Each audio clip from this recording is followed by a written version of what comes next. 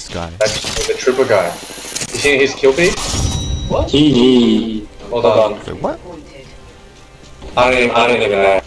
You are the Apex I didn't even do anything. anything. I didn't do anything.